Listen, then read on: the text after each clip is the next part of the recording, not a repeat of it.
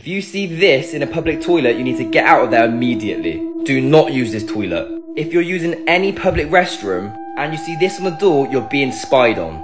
This may look like a coat hanger, but it's actually a camera. It has a tiny little camera at the top of the coat hanger, and people are using these to spy on people in public toilets, as they're replacing normal coat hangers with these things, because you can literally buy them online for £20. Just like this man did called Luke Whitten, who was caught spying on his female colleagues in McDonald's toilets. So if you see this in a public toilet, get out of there as fast as you can. Follow me to stay safe.